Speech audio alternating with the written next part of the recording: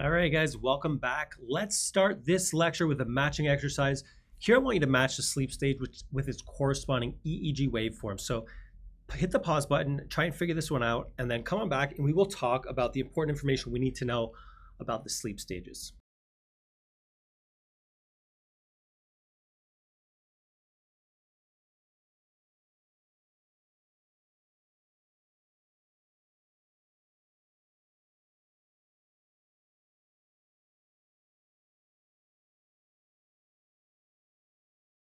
All right, so here are your correct answers. If you need to fix anything, go ahead and hit the pause button. You'll probably notice that there were six options with five options on the right. So one thing uh, would have uh, two answers. So hopefully you got that right. Let's take a look now at the sleep physiology and the different stages of the sleep cycle that are commonly tested and of course very high yield.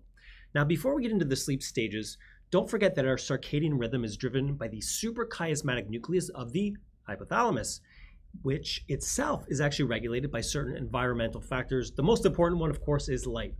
Now, the circadian rhythm is needed for the nighttime release of a variety of hormones like prolactin, ACTH, melatonin, and norepinephrine. When the SCN is stimulated, it causes the release of norepinephrine. That tells the pineal gland or the pineal gland, however you want to you want to pronounce that one, to release melatonin. That melatonin thus induces sleepiness. Now, don't forget that the sleep cycle is broken into two stages. We have the non REM sleep and the REM sleep. Now, certain substances are notorious for disrupting REM sleep. We have alcohol, barbiturates, as well as benzodiazepines.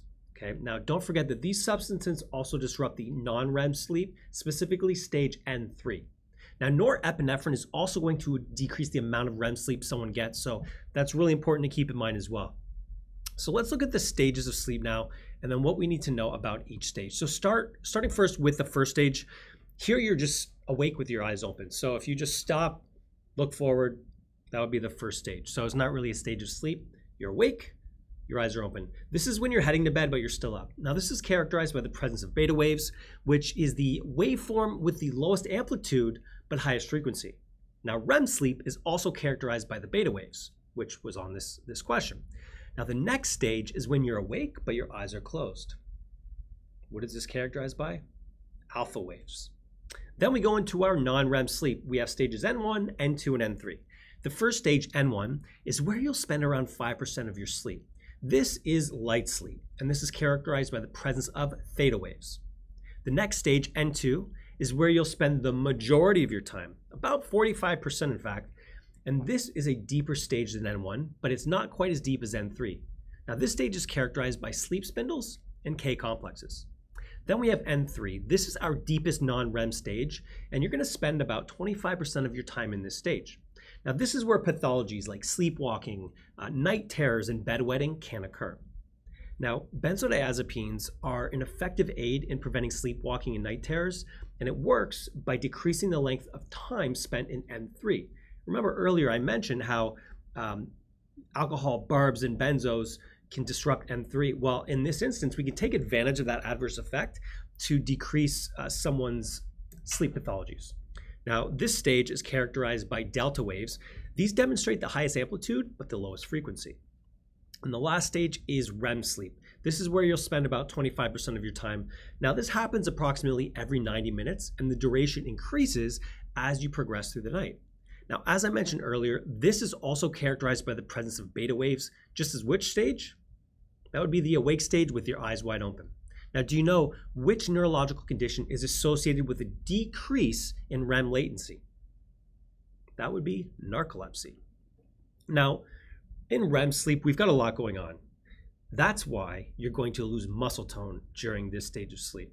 Now, this is a stage where you'll see changes in heart rate, blood pressure, uh, acetylcholine release, which of course increases. Um, don't forget that REM sleep is where penile tumescence, dreaming, and nightmares also occur. Now, it's also important to remember that in people with depression, the amount of time spent in REM sleep actually increases, but there's a decreased REM latency. Now, the amount of time spent in the N3 stage is going to decrease.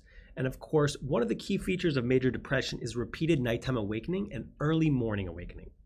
Now, one last thing to remember about the REM sleep stage is that in the elderly, there's a decrease in the amount of time spent in both REM and N3 sleep. And there's an increased sleep latency and an increase in early morning awakening. All right, make sure you know those. It's always tested.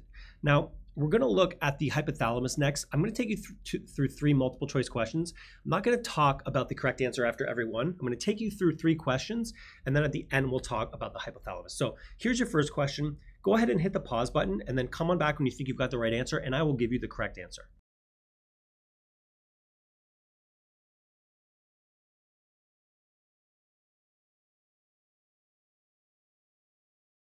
Correct answer to this question is C, ventromedial nucleus. All right, next question, hit that pause button. Come on back when you think you've got the right answer.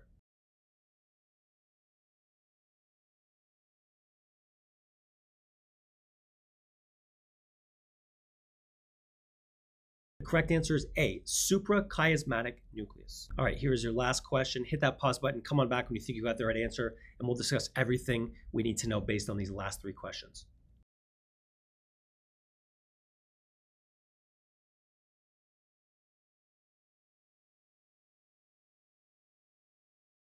Correct answer here is D, paraventricular nucleus. Let's talk about the hypothalamus, an extremely important regulator of the body. So the hypothalamus is of course going to help us maintain homeostasis. Does this by regulating body temperature, thirst, water balance, controls the pituitary, regulates hunger, uh, the autonomic nervous system, sexual urges, and you can actually remember all of those with the mnemonic TAN hats. Let's take a look at the different components of the hypothalamus. Now, First up, we have the lateral nucleus. This regulates hunger.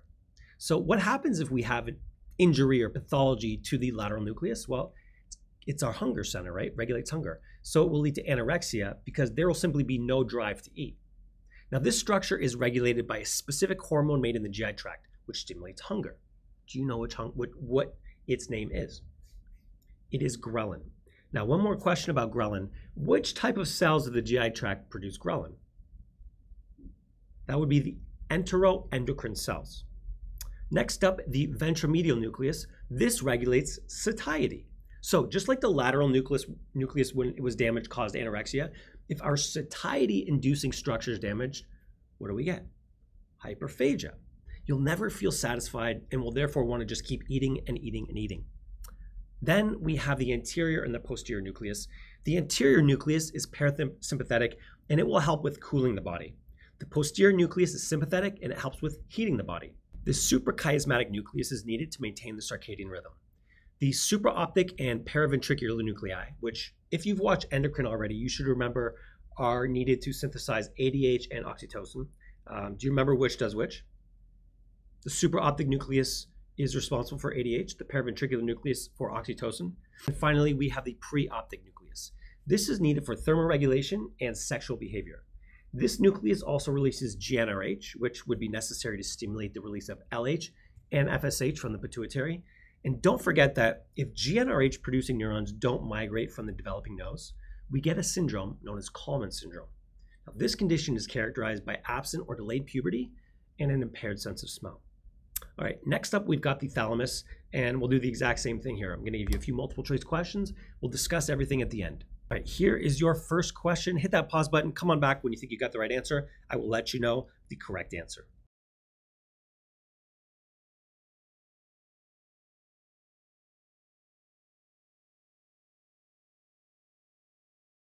Correct answer here is D, the medial geniculate nucleus. All right, next question. Hit that pause button. Come on back when you think you got the right answer.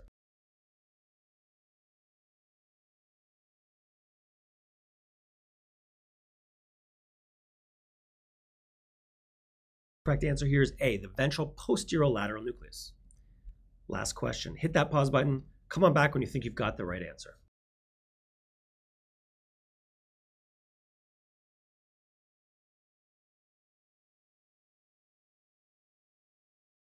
The correct answer here is C. So let's go over the different nuclei associated with the thalamus, their input, the senses they're responsible for, and their destinations. So first, don't forget that the thalamus is the major relay center for all ascending sensory information except for one. Do you know what that is? Olfaction. So first up, we've got the ventral posterior lateral nucleus, and the input here is the spinothalamic and dorsal columns and medial lemniscus. This is going to be responsible for vibration, for pain, pressure, conscious proprioception, light touch, and temperature. Its destination is the primary somatosensory cortex, which is in the parietal lobe. Then we have the ventral posterior medial nucleus, whose input is the trigeminal and gustatory pathways, and who senses taste and facial sensations. Now, the destination is the primary somatosensory cortex. Then we've got the lateral geniculate nucleus, whose input is cranial nerve 2, the optic chiasm, and then, of course, the optic tract. Now, the destination here is the primary visual cortex. That is in which lobe? That is in the occipital lobe. Next is the medial geniculate nucleus, whose input is the superior olive and the inferior colliculus of the tectum. This is responsible for hearing, and its destination is, of course, the primary auditory cortex. Which lobe is that found in? That's the temporal lobe. And finally, we have the ventral anterior and lateral nuclei, whose inputs are the basal ganglia and cerebellum, and who are responsible for motor control. Their destination is the motor cortices of the frontal lobe. All right, next up, we have a matching exercise. So go ahead and hit the pause button, figure these out, and then come on back when you think you've got everything correct.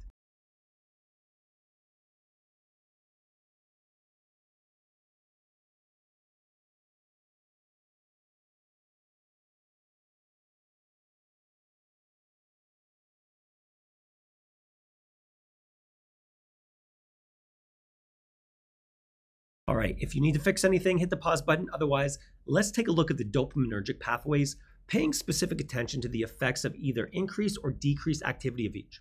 First, we have the mesocortical, which when activity decreases will lead to the presence of negative symptoms. Remember, negative symptoms can be thought of as though something is missing or has been taken away. Usually a patient is apathetic or they have a flattened affect. Next is the mesolimbic pathway, this is associated with positive symptoms when activity is increased. Remember, these types of, these types of symptoms are the ones most often concerning and they're the target for most antipsychotic medications. These are things that are added, right? So um, negative symptoms are things are taken away, positive are things added. The nigrostriatal pathway, um, when activity here is decreased, is associated with extrapyramidal symptoms like dystonia, Parkinsonism, tardive dyskinesia, and akathisia. Now, when you see someone with movement disorders, I want you to think of this pathway. And the last one here is the tubero-infundibular pathway. Now, when activity decreases here, that's going to lead to an increase in prolactin. This results in a decrease in libido, sexual function, galactorrhea, and gynecomastia. All right, next question is multiple choice. So, of course, hit that pause button, try and figure this one out, and then come on back when you think you have the right answer.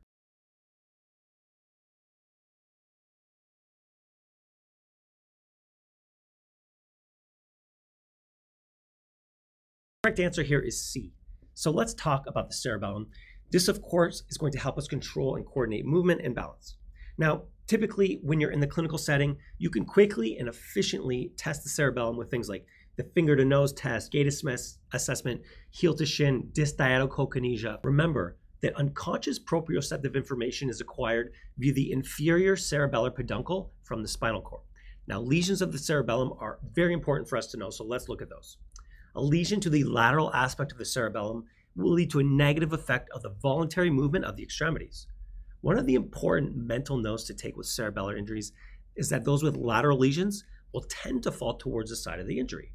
So you've got a right-sided lesion, watch for falling on that on that side. Left-sided, watch for falling on that side. Medial lesions of the cerebellum, which will encompass things like the vermis, flocculonodular lobe, and fastigial nuclei, tend to lead to bilateral motor deficits affecting the axial and proximal limbs, truncal ataxia, which is characterized by a wide based gait.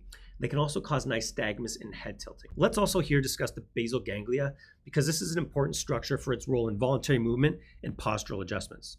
Now, the way it works is it receives cortical input, then provides negative feedback to the cortex that modulates movement. Don't forget your anatomy here. The striatum is composed of the motor portion of the putamen and caudate, while the lentiform is made of the putamen and globus pallidus. Now, we've got both a direct and an indirect pathway that we need to understand here with our basal ganglia. First, the direct pathway is our excitatory pathway. This is mediated by the D1 receptor, while our indirect pathway, which is our inhibitory pathway, is mediated by the D2 receptor. So when dopamine binds the D1 pathway, it stimulates the excitatory pathway. But when it binds D2, it inhibits the inhibitory pathway. All right, let's end that lecture here. I'll see you guys on the next lecture.